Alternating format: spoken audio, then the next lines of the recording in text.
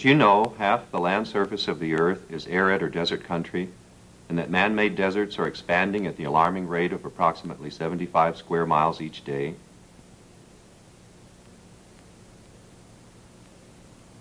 This is mostly a result of clearing, overgrazing, and inappropriate agricultural practices on drought-prone land. The continued spread of deserts is affecting climate, soil loss, vegetation, and animal life across broad regions and has serious implications for the planet at large because once established, deserts are very difficult to reclaim. However, each of us can help to reverse the loss of vegetation and improve habitats wherever we live, from Arctic tundra to tropical forests, by using the simple natural materials of the earth itself.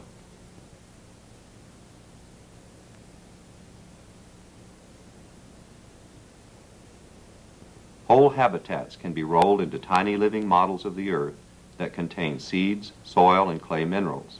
They are called seed balls.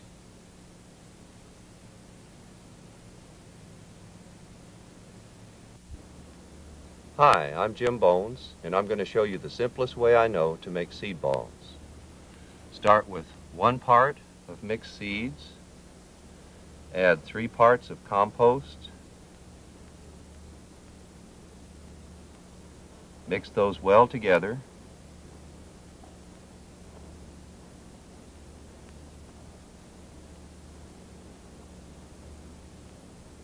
Add five parts of red powdered clay.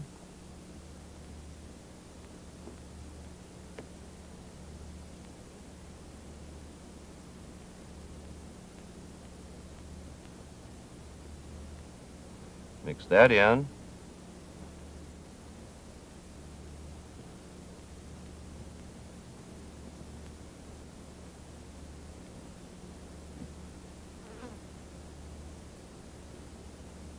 Then add two parts of water, a little at a time. Mix that well.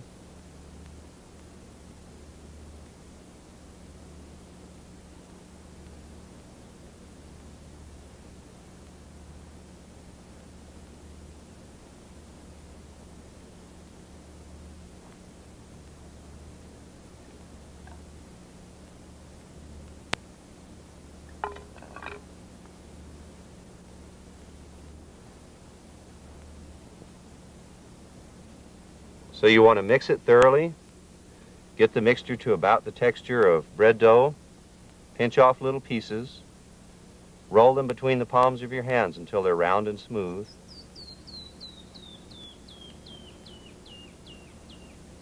And there you have it, seed balls. It's that simple.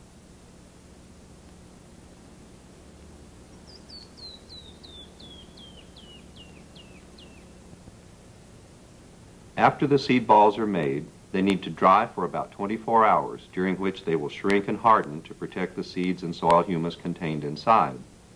Once dry, they may be stored for several months in a cool, ventilated place or scattered directly on the land at a minimum density of about one per square foot. Since the seeds are already planted, the seed balls can be tossed on the surface and no further cultivation is required.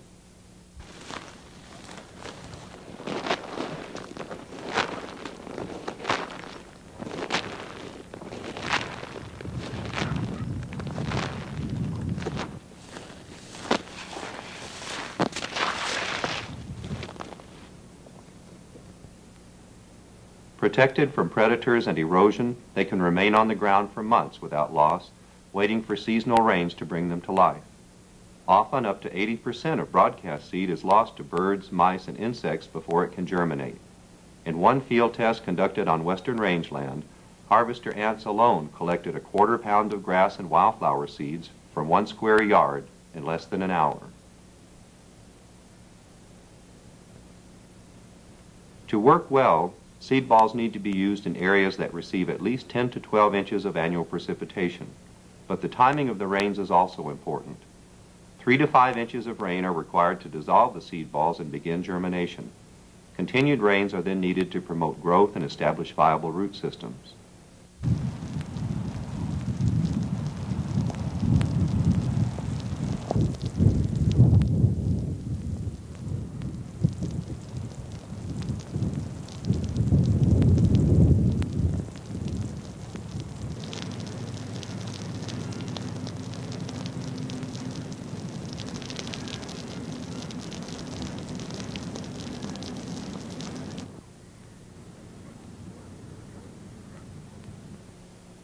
Light rains may only soften the clay and allow predators like ants to tear the seed balls apart and even dig under them for seeds. So it may be necessary to add a natural repellent such as red chili pepper, catnip, pennyroyal, or peppermint to the seed balls to prevent predation. The amount of repellent added will vary with the type, but about 10% by volume of the amount of soil compost should be sufficient. If you use red chili, wear gloves to avoid irritation.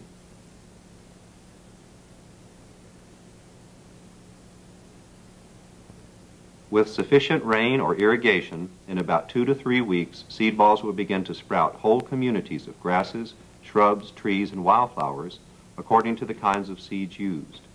Once they begin to sprout, nature selects the right plants to grow on the site, and in one broadcast, all possible niches are covered.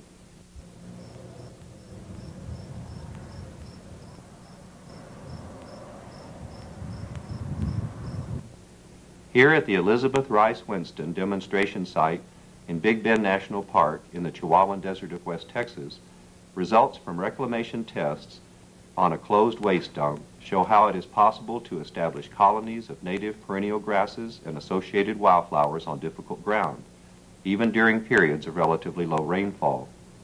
The most successful regrowth occurred in small imprints or pits made with a hoe to collect natural rainfall and provide protection from dry desert winds.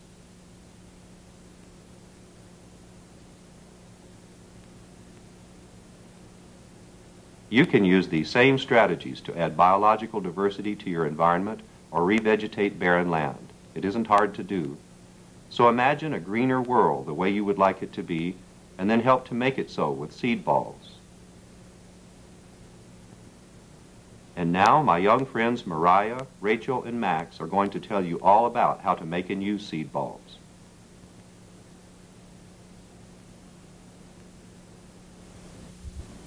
This is a model of the world that's made out of paint and metal, and it can't grow anything.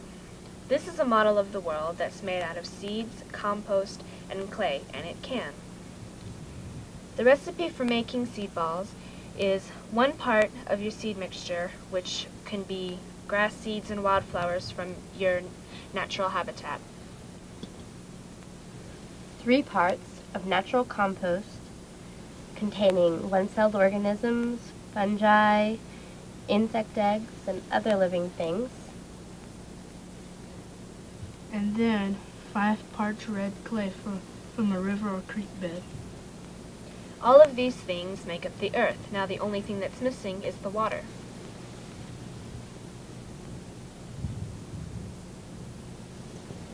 Now it's time to show you how to make the seed ball. We'll take one part of the seed mixture, three parts of your local compost,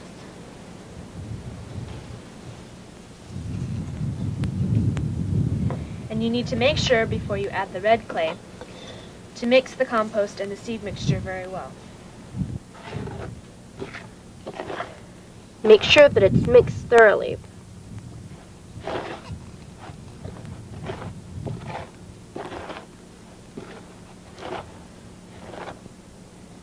Now, after the seeds and the, com and the compost are mixed, it's time to add the five parts of red clay. This red clay you can find in the riverbeds after a thunderstorm or after, after the creek bed dries out. You can pick up the little flakes, brush off the sand underneath, and you'll have the purest form of clay that you can get.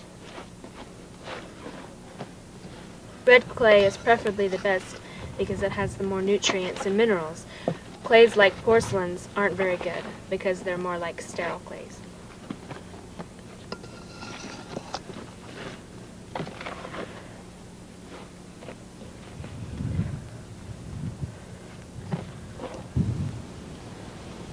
Now that our dry ingredients are thoroughly mixed, it's time to add our two parts water. The water you should add gradually, a little bit at a time. You don't want the seeds to get too wet, or else they'll start germinating. It's almost like mixing dough for bread. You don't want to add too much water, or else it'll get too soggy. But you have to make sure that you add enough, or else it'll be too dry.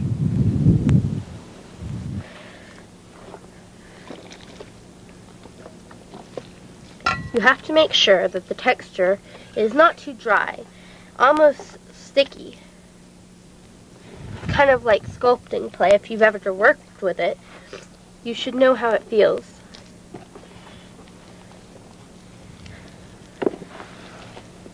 Once again, we're adding the water gradually so as not to make it too sticky all at once.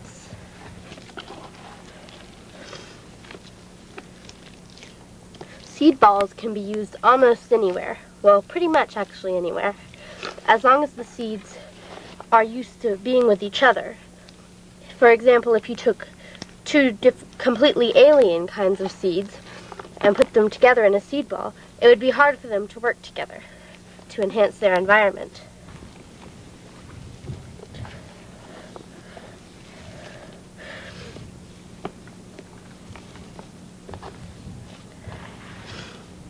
We're almost to the point where we should start making the seed balls.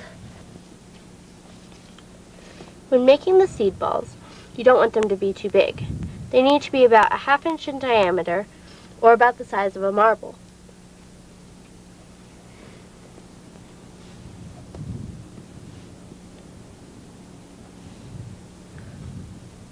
As you roll the seed ball, if you look closely at it, in the clay, there are little, almost snowflake patterns that are far apart. And as you roll it, they'll be squished together and become closer together.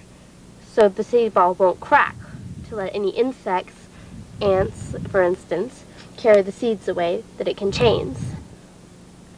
As you're working with the seed ball mix, you, this, the mix may dry out, and you may need to add a little bit of water. It's best to have a spray cup, but just hit, spreading it on with your hands is also fine. You want the seed balls to be as round as you can make them, so that they won't have any cracks. But if you're spreading them out over a steep hillside, it's better to have them somewhat squished so that they won't be as able to roll down the mountain and all gather in the same spot. In scattering the seeds, the seed balls, they need to be at least one per square foot.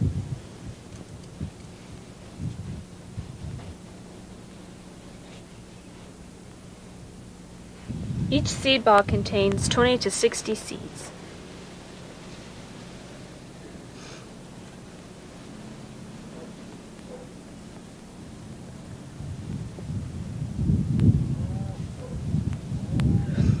As it rains, the clay will break down and let the seeds settle into the ground. It should take about three to five inches of rain, about which depends on how it comes. If it's all in one heavy shower, it'll break down faster. But if it's in light sprinkles, then it should take longer. The seed ball, when it's hard, the outer shell protects it from insects and birds, and then when it gets wet, it will the nutrients will sink into the ground around the seed and help it with its nutritious value. It also acts as a blanket containing minerals and vitamins which it needs before it starts to grow.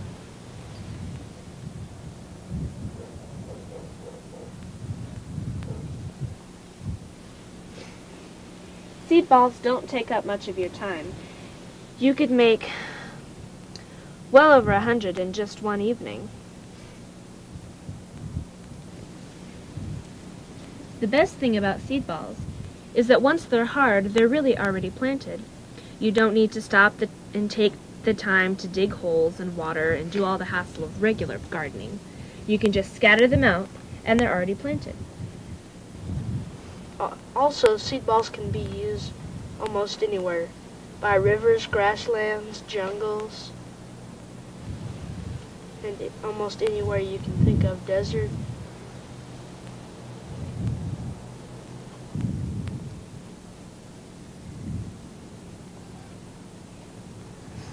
Nature really is our best teacher.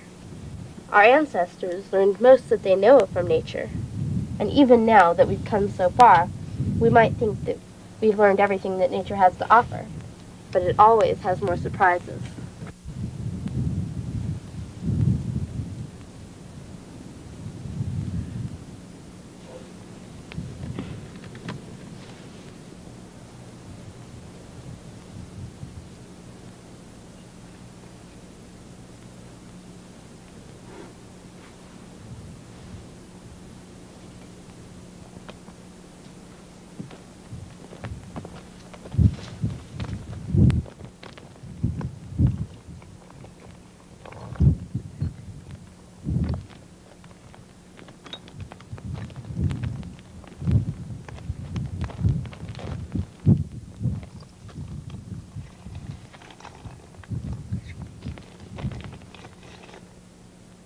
Just a couple of hours, these young people have helped to restore diversity and health to their local habitat. You can do it too. Making seed balls can be a wonderful project for schools and social groups that brings the community together to improve the conditions of the land you live on.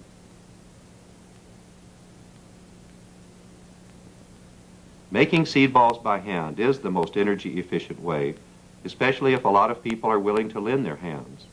But if you need to cover a large area at one time, a faster way is available. The von Bachmeier rotary drum enables you to make enough seed balls in one day to cover an acre or more. I'll show you how it's done. So first, make a batch of dry working materials consisting of one part mixed seeds, three parts of living compost, mix those well together, and just to deter those insects and mice and birds that might want to rob your seeds before they can get started, we're going to add a couple of tablespoons of ground red chili pepper.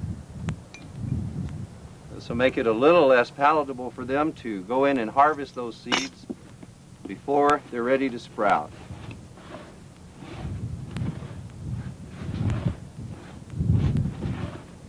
Next, we're going to add five parts of red powdered clay. Mix that thoroughly.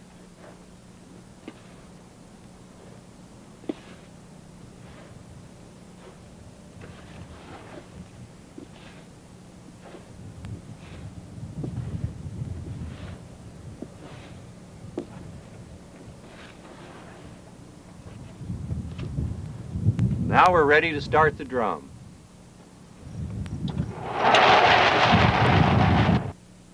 By working with the rotary motion of the drum and the natural tendency of clay particles to ball up when wet, it is possible to produce seed balls in a more or less continuous process. The dry materials are introduced into the drum, water is sprayed on the mix, and as the seed balls grow to the desired half-inch diameter size, they're harvested with a wire mesh tool. This allows the smaller seed balls to remain in the drum until they have reached full size. Wet seed balls are simply tossed onto a tarp or sheet to dry and harden for about 24 hours, after which they are ready to scatter or store until you have enough to cover the area under consideration. Because they contain soil compost with microorganisms, seed balls help sprouting plants establish strong roots even in depleted soils. In addition to protecting the seeds and compost during dry times, the clay also provides essential mineral nutrients the young plants need for healthy growth. So it is important to use red or brown clays with the greatest mineral diversity, not white or gray clays. If you do not have a local source for clay, you can buy red powdered clay like that used to make flower pots. Avoid inhaling the fine dust. It can damage your lungs. This continuous drum operation is adapted from a method developed by Masanobu Fukuoka, an 80-year-old Japanese microbiologist and farmer who told me how to make and use seed balls. He has been developing these natural farming techniques for more than 50 years to grow fruits, vegetables, and grains without cultivation, and to help restore damaged lands around the world in all kinds of habitats. While describing them, Mr. Fukuoka repeatedly told me that making seed balls is easy. Understanding the right associations of seeds to include is the difficult part. Plants have preferences about which other plants they like to grow near, so an awareness of compatible guilds or companion plants will help you choose the right combinations. You can make different species of seed balls, each containing the best associations of seeds for varying local habitats to minimize competition. He also said including the microbial organisms needed by the plants in the form of concentrates or living soil material is absolutely essential. Be sure to include natural soil samples in your compost mix to provide the proper diversity of microbiotic farmers that really do the work of making soil fertile.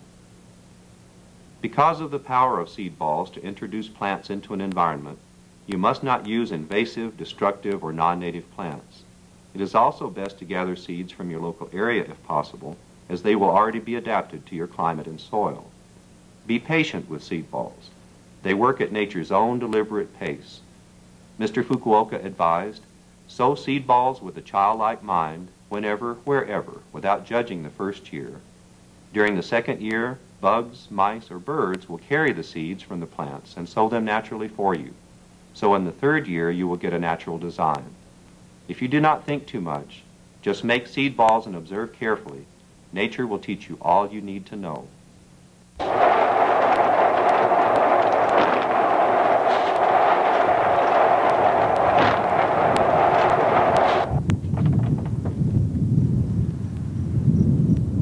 Is it, the von Bachmeier drum, developed by Alfred von Bachmeier of Tesuque, New Mexico. This will enable you to make an acre's worth of seed balls in one day. That's over 40,000 seed balls. This is what you need if you're going to cover a lot of area in a small time. Just harvest them, toss them out there.